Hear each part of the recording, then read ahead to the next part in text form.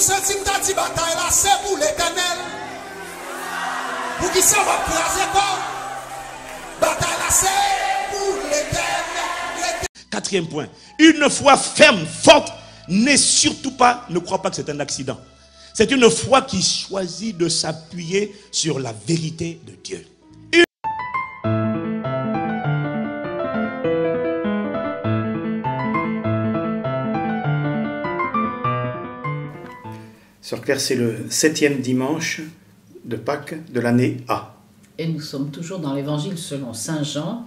Cette fois-ci, c'est le début du chapitre 17, versets 1 à 11.